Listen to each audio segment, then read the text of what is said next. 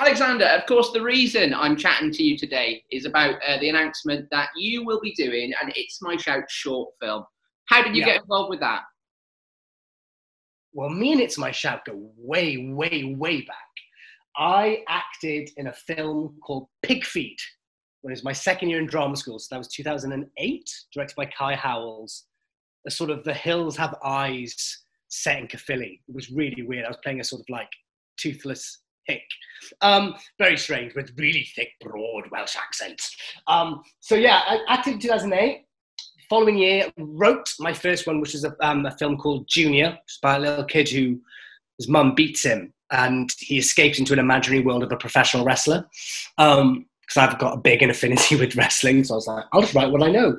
Um, so yeah, me and It's My Shout go way, way, way, way back, and um, and yeah, this one I've had, I've been directing now. You can see that that's Lola, my first short film. That's won loads of awards recently, and then here we are. It's just finished. Um, it's finished its post production. So um, I sent a script to Roger, and it's my shout, and went through the proper channels of the whole thing, and and it got selected, and it's great, and I get to direct it, which is even better. So it's and, and it's the first time I'm directing my own work or my own writing.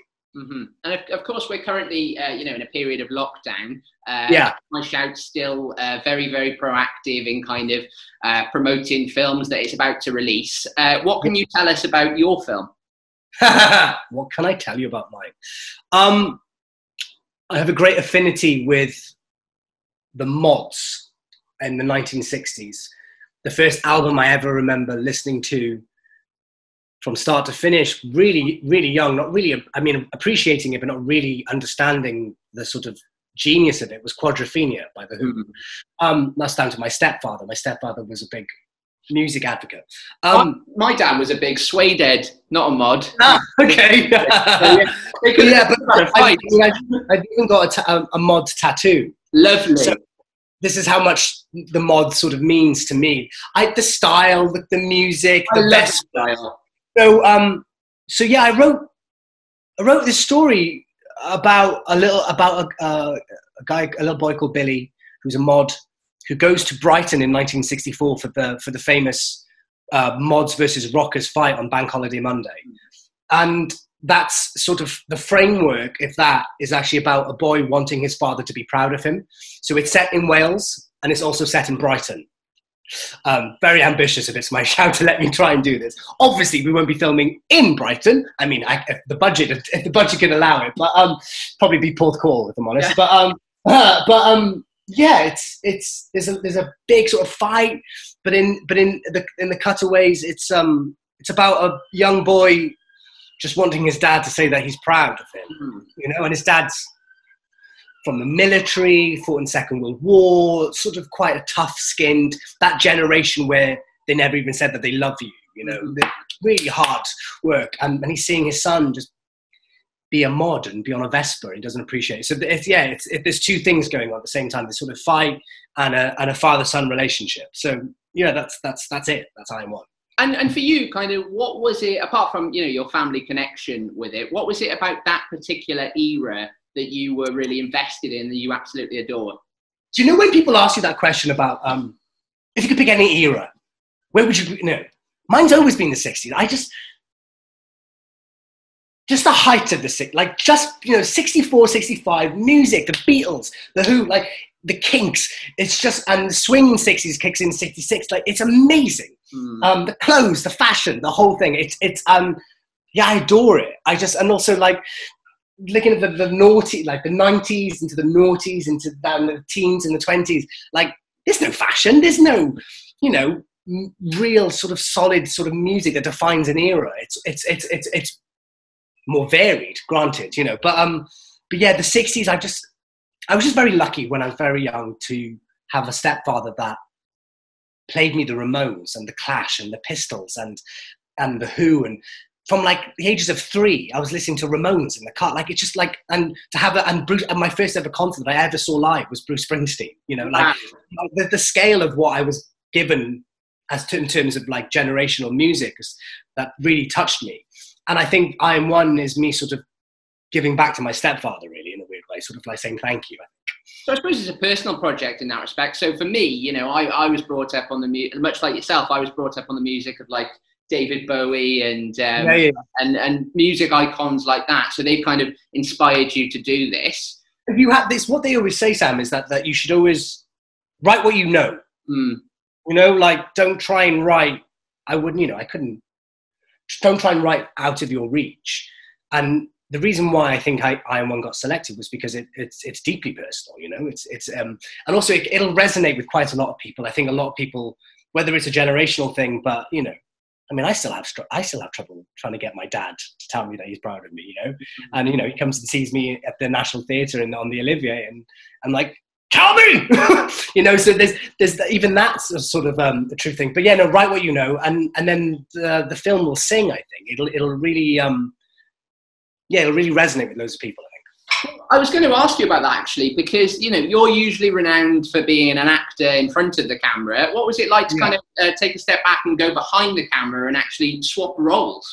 Well, um, I've been acting since I was 14. You know, I was in Pobol y Cwm when I was a 14 year old boy. Um, it's it's been a long time in the industry. I'm, tw- I'm, I'm, I'm, coming up to my 32nd birthday, so I've been acting for quite a long time. Went to Royal Welsh College of Music and Drama, got an amazing agent, and I haven't really stopped working. What happens through that time is that you sort of lose uh, the love for it. If I'm honest, you lose the sort of um, the passion and the reason why you got into the industry. Um, certain roles pop up and you think, oh, that's why. But the um, and I just sort of, for mental health reasons, really, I just sort of wanted to take a step away. I've been in, I've been, I've got to work with some amazing directors in my TV career, in Merlin and in Versailles and all these things, and to be able to work with those directors and see how masterful at their craft that they were. Mm-hmm. I was like, I want to do that. And I haven't haven't gone to film school, haven't, you know, haven't, you know, picked up a book and tried like I know, directing for dummies. I've literally just watched people that are far more talented than I am. And I've just copied and copied and pasted, Literally done that, you know. So I think um I just acting acting's always gonna be there. Mm-hmm. Always. Um you know, don't bite the hand that feeds you. And there's a, and there's a huge following and a massive um, fan base for me, which is really really touching. I just um, I've just never been happier when I was directing Lola, and here we are. Like I've never never ever been happier. So would you say you prefer, would you say you prefer directing to acting then? I suppose. Well, it's tough, I'd imagine, because you know, for yourself, growing up on the television essentially must uh, yeah. you must kind of have a bit of a love hate relationship with it. I suppose. Yeah, I suppose it's exactly that. It's a love hate relationship. Um, I've just finished. I'm doing a, um, a, TV series called The Window, which is um, it's about football, and um, it, and I'm playing a sort of horrible, like uh, misogynistic, racist, um, like a Joey Barton type football player. Like he's he's angry, he does drugs, he's an awful guy, and those roles are brilliant to play, but they weigh you down. Mm. They really weigh you down physically and mentally. I come back after filming and I'm just like exhausted. Where with directing, so what goes back to what I was saying about mental health is that there's something about directing that you get emotionally and physically drained, but it's but you can still come home and be yourself. Yeah. You haven't you haven't in acting for me as well. My biggest pitfall as an actor is always I invest so much. I really invest so much in a character, um, but it, it takes a toll on you. And with directing, you invest in other people you're not investing in yourself. You're you're giving out. You're trying to get the makeup department and the and the writing department and the camera to be at their best. And I think that's so much more rewarding to see other people thrive than you concentrate solely on yourself. You know, it's weird, I suppose, in the respect that you know, even something I've noticed actually working in television is that people automatically assume that you're like that all the time so for me, you know, uh, on Cardiff TV or you know on the local TV channel, I'm constantly full of energy. I'm constantly going around interviewing people, and people yeah. people actually meet me. They're like, "Wow, you're you're quiet," and it's just like yeah. it, it's mad. You know, the the transition between being on the television, you know, as opposed to being off the television, is is mad. Um, yeah. But back to it's my shout. Yeah, uh, it's my shout offers opportunities for many different types of people trying to get into the creative industry. Um, why do you think It's My Shout succeeds so well, and why do you think people love it so much? it's grassroots, isn't it? It's mm. getting people into an industry where they don't, where they probably would never imagine that they could. Mm-hmm. It's literally giving them a step on the ladder, a rung on the ladder. Not even just giving them a step; it's giving them a helping hand onto it, and and giving them the contacts. And because that's what this industry is, really. You learn as you go. Everyone does. You don't just you don't just get born a sound designer. You don't just get born a camera operator. You're like, I know everything. Mm-hmm. You'll make mistakes, and you learn, and you learn from people, and it's an amazing scheme it's testament that it's gone for this long and it's still going. Um, they've they're bringing people who might not necessarily even think about getting into this crazy industry because it is competitive, you know, draining, long hours, very little pay when you're starting off, and it's given them a flavour of of of a, of a successful of a successfully run show and and, and program, you know, and hopefully telling them that it's, it's going to be okay. It's giving them a helping hand, you know. And for me, when I when I when I acted in, in it, I you know I'd already done a bit. So, but it was it was amazing seeing a boom operator being you know 17, 18 year old girl.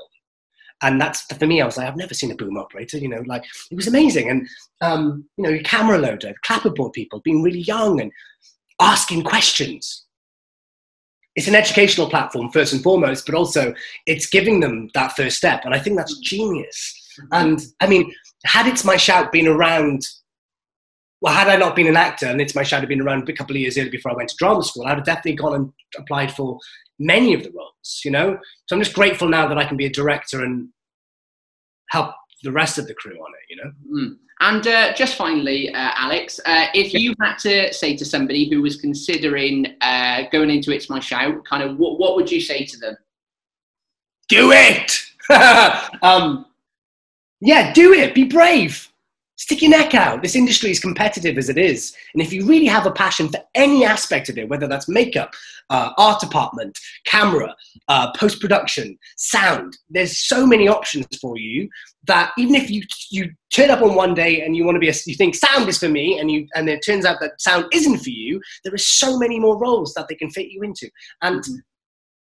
this industry always needs new blood it always does there's more productions more tv companies being set up it's like it's it's um it's a really giving industry when when you find your skill in it and i think it's my shouts um genius at doing that and um so yeah if you have any trepidation um sign up. Also, you get to work with me, maybe potentially. So I mean, you, they should sign up anyway. Just when hearing about that, just sign up just for the chance of that, Sam. It should just be called uh, Alexander Vlahos. Not it's my shout.